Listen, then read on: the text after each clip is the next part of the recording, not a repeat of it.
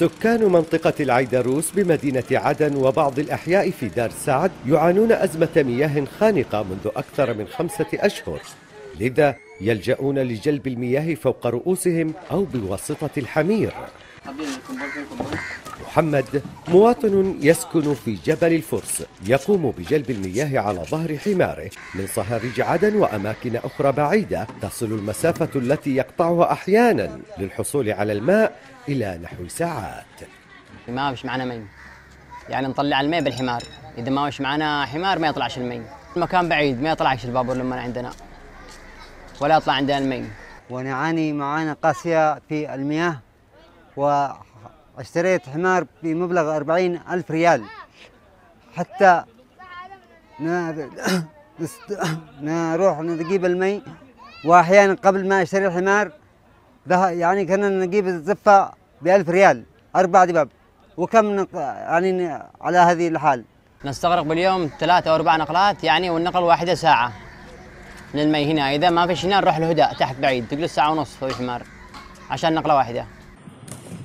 أزمة المياه وانقطاعها في بعض أحياء المدينة باتت تشكل هاجس قلق لدى المواطنين خاصة وسكان منطقة كريتر ودار سعد يناشدون الجهات المختصة والمعنية منذ شهرين دون جدوى فيما لا يزال المواطنون يأملون قيام الجهات المعنية بدورها في التخفيف من حجم المعاناة وتوفير الخدمات الضرورية.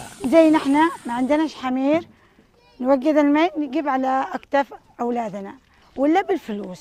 أول كان المي متواجد بمنطقة الفرس أما الآن نقص المي كثير تعبنا وتعبوا أولادنا وبناتنا. زي ما أنتم طلعتوا شفتوا يا ريت إنه الحكومة تنظر لنا بعين الرحمة. كل شيء غالي وأزمة الماء يعني عندنا منقطعة جدا يعني لدرجة ما تتخيلها منطقة البوميس يعني تعاني من شحة المياه بالخالص من تقريبا مدة ثلاث سنوات أو أربع سنوات. نحن نعاني من الماء وذهبنا يعني إلى مدير المياه وإلى المحافظة ولكن لا قدوة.